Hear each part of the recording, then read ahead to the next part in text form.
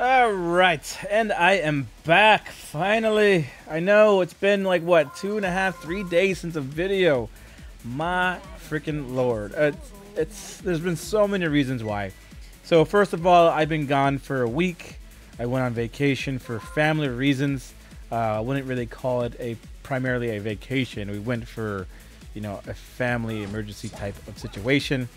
Uh, and then when we found that everything was okay, we started sightseeing and stuff. So, as a family. But anyway, so we came back after a 13-hour drive, um, and then given the fact that we were gone and our son was with us, meaning he wasn't going to bed in his normal area, um, he did sleep with us for the time of the vacation.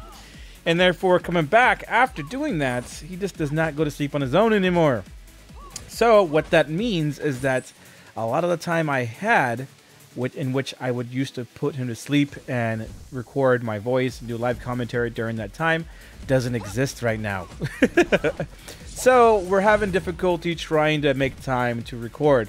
Uh, so I can record videos, just not with live commentary. But then I have to do live commentary after the fact, or not live commentary, like this this voiceover, I should say, after the fact whenever he does fall asleep, and it's been difficult lately. So finally we got some time, though. I'm pretty happy that we can eventually get these videos out to you guys. There's going to be a lot of analyzing type of gameplays for the time being. Bear with me because, you know, like I said, the, situ the situation right now is not the best for videos. But once my wife comes off her work week, I will make sure I have videos um, with live commentary ready for you guys and have a cushioned amount so that if there does be a situation, well, my English is so bad. If there is a situation where um, I can't do live commentary recordings again, I'll have some on backup. But anyways, so we are doing a tier 2 Rona video. Uh, gonna be doing some weapon power this time around. I generally like to go CP just because I'm a bursty type of hero person. Uh, I like to go CP Ringo. I like to go CP anything, really just because the burst is fun. Um, but we're growing weapon power today to mix it up a little bit. Um, if you guys don't already know, I suck really bad with Rona. Every time someone's like, do a Rona video, I'm just like, God. uh, oh, that was a nice dodge too, though. But I do get chased by the fortress, which, which is not great. Fortress, which is not great. Gosh, my English is not on point today, guys. I think it's just because I'm tired. Don't get sleep. My son doesn't sleep. Nor do I get to record because my son doesn't sleep. we'll, we'll, we'll make it work here, guys. All right, so that was really bad right here. We should not have not gone back in. Well, we shouldn't have gone back in. My goodness. Frickin' Rome to get your English on point, boy. oh, God, my grammar is horrid. Anyways, so we're going uh, heavy blade or heavy steel, whatever it's called. Uh, first, uh, gonna grab some defense as well, heading towards an Aegis because our counterparts is in fact CP. Counterpart being our enemy jungler uh, is in fact CP. Um, but yeah, so like I said, I, am not the greatest with Rona. Um, I definitely had a lot of trial and error trying to get this video for you guys. Um, if you guys don't know, YouTube is not always just, oh, it's so easy. He just gets on, records one game, and then he's good. No, no, it does not happen like that. It does at times where, you know, if I'm playing a Ringo video, I'll just get on, play Ringo, and in general, I'll be fine, and I can use that video. But a lot of times as a YouTuber, you're forced to play heroes that you don't main, or that you just don't play at all. Rona being that hero for me. Um, and it's, it's one of those heroes that I just don't have the ability to grasp well with for whatever reason. And I'm sure a lot of you guys can relate. There's like that one hero that you guys just don't understand why you suck so bad with, right? I mean, some of you guys might just be so great that you don't have that, but I think in general cases, most people have a single hero that they can specifically think of that they're just they do not play with uh, great, regardless of what they try. Uh, and that's Rona for me. Uh, so I think I played like three matches prior to this one during this day. to get this recording for you guys. Now, I do try to post videos where it's a good match. If I lose, it's fine. But my general idea of posting a loss is it has to be worthy of a post, meaning it's not just me getting obliterated and it's just boring because of that. Now, if it's me getting obliterated and it's fun and I was kind of laughing and enjoying it, I'll post it like I did the Reim. I lost in the Reim video and I was just like, you know what? I'll post it anyways because I don't freaking care because it was funny. And also, I was in a rush because I had to leave for my trip. But regardless, like I don't mind posting losses. It's just it has to be a close match in general. Um, but yeah, so. But finally, we got a match. Whether we lost, we won or lost, I'll leave it at that. I don't want to reveal the results unless you just want to skip ahead, you cheater. But um, yeah, we are on our way to building a looks like a serpent mask eventually. Gonna build a blazing salvo where we already did, and we're gonna go into a breaking point at some point. Um, but we're going to hold on to just the Blazing Salvo and not finish out the breaking point until we get some nice defense going. I think the general build for Rona when it comes to weapon power is you want to get that heavy steel, get that Serpent Mask. I'm hoping I'm calling it right. Heavy steel, heavy blade, whatever. Um, the precursors to Serpent Mask. You go Blazing Salvo, then you go defense. Then as you start to get a little tanky, you build off your Serpent Mask. And then you build tanky again and then when you get to a point where you're comfortable not dying a lot, then you get your breaking point and then you shred people with your ultimate. That's the general consensus. You also want to get a Shiver Steel a little, I want to say a little early, depending on the situation.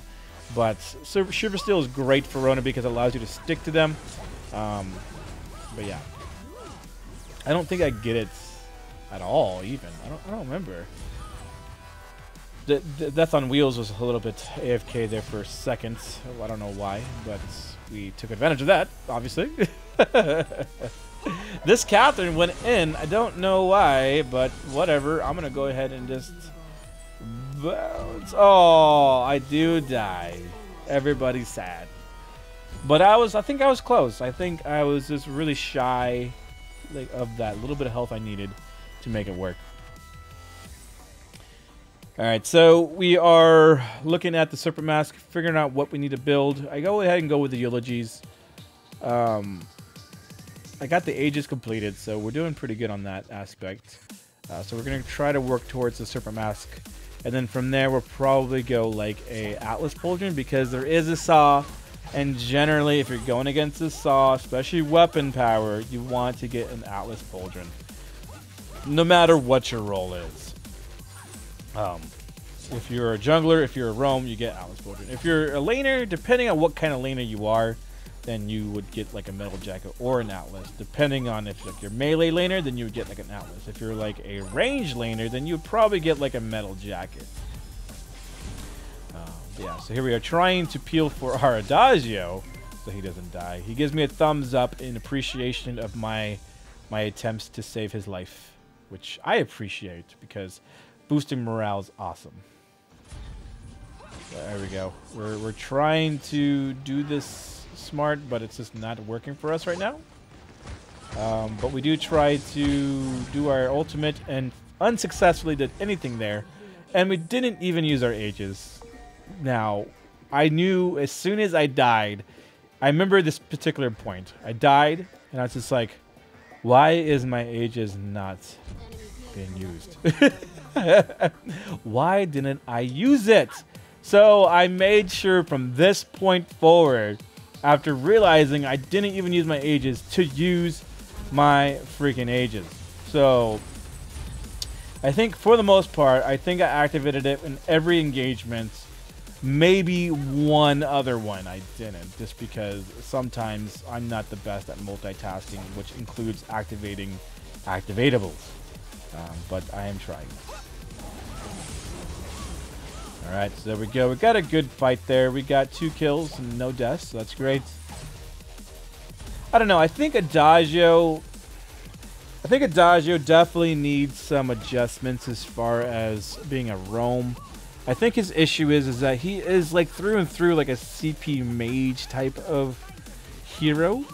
And therefore, because of that, his heal doesn't really scale well with um, like the, the fights as they go on because he is a squishy roam and he needs to have some substantial heal to keep himself a threat, uh, healing himself or healing an ally.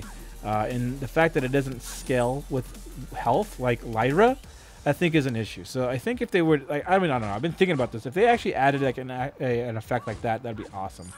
Um, like his heal scaled off of health like Lyra. Because once I saw that on Lyra, I'm like, dude, why doesn't Adagio have this? Um, but yeah, we'll see what happens. Oh, and it looks like uh, they are. Uh, there's my Aegis. I popped the Aegis, but I died anyways. Whatever. I popped it though. You saw that, didn't you? I popped it. Yep, I sure did. I am a pro. All right, so here we are getting some more weapon defense, or not some more, getting our first weapon defense, the light armor. Uh, we did finish up the Serpent Mask. We're going to go ahead and leave the blazing salvo as is and head towards an Atlas Pauldron because Saw is going to be an issue if left unchecked. So we definitely want to make sure that we handle him appropriately. I don't know if I like the whole stacks on the Adagio buff, though. I mean, it's fine if it had more stacks, but I feel like it's just too low.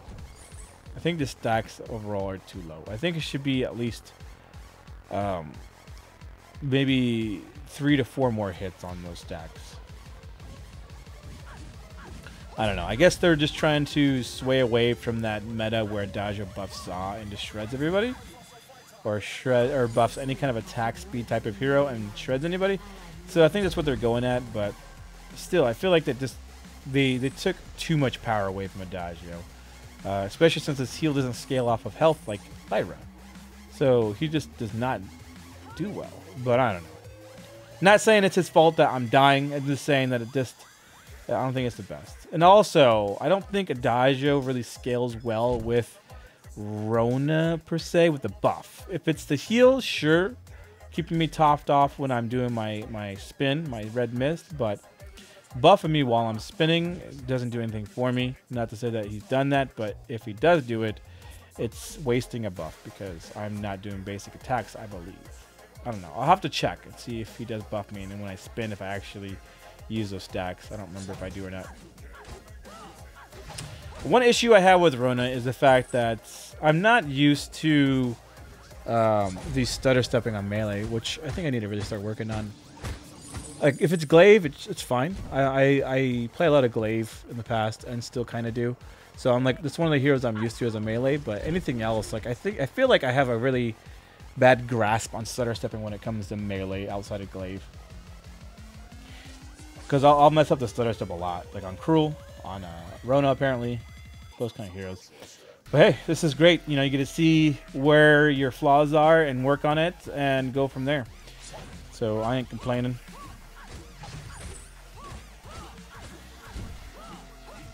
Alright, I'm getting used to it. You guys, yeah, I'm doing fine right there. See, the stutter step's starting to get fleshed out.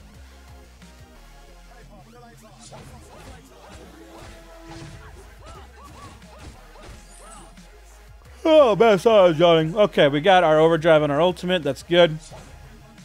We're grabbing the backs there real quick. Go, go, go.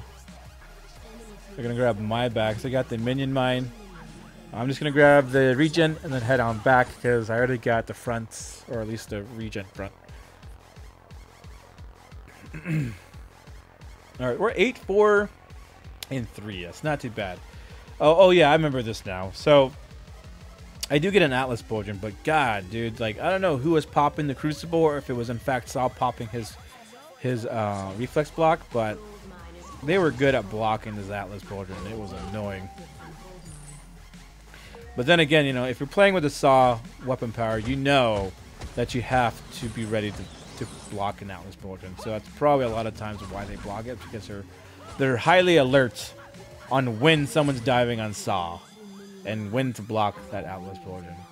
I think the biggest thing about when they have the ability to block Atlas Pauldron quite well, the, the thing you need to do, which I, I think I do it sometimes, it's not all the time, is that you need to wait to use your Atlas. Wait till you see that popped, and then you go in. So there it is. Like, so now I casted it, but then they had another one. I think. I don't know. Um, so I feel like I think Saw did it, and then somebody else popped a Crucible. But Can I get the Catherine? Can I get the Catherine? Uh, no. we don't get the Catherine, but we are going to go ahead and get the backs again. yeah, so like, I think a Shiver Steel would be great right now. Or at least, you know, tier 2 boots. Uh, because I don't have any kind of way to stick to people effectively. Now, my beat does give me run speed, but it just is not enough to secure the kills because it doesn't last long enough. Uh, and it's hard to to chase somebody who has mobility themselves. Like Catherine or like Vox, that kind of stuff. So you really need that Shiver Steel to be able to stick to them because even if they have mobility, that Shiver Steel severely dampens their, their mobility. But we're working on getting that breaking point. Uh, the reason why is because I definitely want to be able to Red Mist and build up my damage rather than have the same amount of damage throughout the entire Red Mist. Because uh, that's really where she shines, is getting that breaking point stacks during that Red Mist, increasing the effectiveness of the Serpent Mask, and also doing an immense amount of damage overall to the entire enemy team. Um, but you just got to be able to land it right. Uh, that's really where it comes down to how often do you play Rona, which will translate into how effectively you can use her abilities. Uh, so I'm, I'm learning as we go, but I'm definitely seeing some situations where um, I feel like I could do a lot better. There's, there's another block. Gosh. But we are shredding that Sonic, though. That's good. And we are going to take out the Catherine. There we go. And now the Fortress. Uh, just using the boots to stick to the Fortress here. There we go. Using that run speed. There we go. Bam. There is the kill. All right, so 11 4 5, not too bad. I'm doing okay without the Shiver Steel, but I really feel like the Shiver Steel would be great. I probably should have prioritized getting that Shiver Steel, I think. Because one, it's a lot of health. Two, it also gives me the ability to stick to an enemy. Like I was talking about before. And there we go. Spinning. Spin for win. trying to stutter step. This is actually um, usually when I get Kraken or when we're getting Kraken, I really try to practice my stutter step. It's it's one of those things I try to do. I, I tend to like to do that. I don't know why. I mean, it's good. It's a good practice because, I mean, as long as you're not messing it up too bad, you're actually doing more damage. So. All right, trying to get myself in a position where I can jump this saw. Turret goes down. I'm going to go and jump in. To use my Atlas Pauldron. There we go. And the spin didn't really need to be done, but whatever. And do we go ahead and take out the Catherine? We do! And we had to jump out. Well, we should have jumped the other way. I don't know why I jumped this way. But I'm just going to sit here until the turret goes down, and then the other target, the other turret targets the ally. So there we go. I should have just jumped down but uh, whatever. There goes another turret. I don't have full health, unfortunately, but we should be able to take out the second turret quite quickly. There we go. Now, this one's a little bit iffy because Saw can shred me if I'm not careful. I'm to let this guy do a lot of the damage there. Looks like we're going to bounce out because the Kraken is down. I'm going to go ahead and just jump out. Saw will definitely shred me. Looks like Skye is going to die too, though, because she doesn't have an ability to get out. Unless she can get the enemy to sit against the wall and then use her Suri Strike to leave. But that's like, you had to have a lot of finesse to get that done. I just spin right there. If you guys are wondering why I was spinning, it's because I was trying to get the wolves to go away. uh, but this sucks right here. Oh, God. Hey, I used the Aegis again, though. Yay! Way too much damage, though. I should have just backed out like Adagio wanted. My bad. That's one of my flaws, is where I, I tend to get a little too aggressive or just overly confident. There's a Shiver Steel. So now all we have left is our boots. Uh, we're probably just going to infuse, more than likely, but, uh, ooh. Is he gonna survive? Oh no, this is soft. And an ace just in time. Like freaking Skye literally came up as Adagio died. Freaking always like that. I don't know about you guys, but it's always like that for me. Like, it's always where at the very last millisecond, the ally dies and then and we get aced. It's it's never ceased to amaze me. So there's the infusion. We have the Shiver Steel. Um, we're gonna go ahead and go in. We're gonna pop the the Atlas Pauldron. No one's running yet, but we're gonna go ahead and just pop the uh, Shiver Steel anyways because we can go ahead and chase now. Uh, but it looks like it's going to be pretty nasty right now. We're not going to survive. And I am going to bounce. I don't know what the Skye was doing there. Maybe she was low. I didn't I didn't really see. I can't say that I blame her maybe. I don't know. But I felt like I was alone in that fight where Skye was just kind of sitting there. But like I said, I didn't really see what happened. So I can't really say she did anything wrong there. I would totally rewind it, but then I mess up my sync here. Die, Joseph. Picking at that. Uh, what? Okay, I guess he just decided to give it up because he's going down to the Kraken. Nope. Okay, that, that was weird. he, he skipped a big minion to go to get this smaller minion. Alright, so it looks like Kraken is getting taken down slowly. We're going to head there as fast as possible using our A to jump, maybe? No, looks like we're not.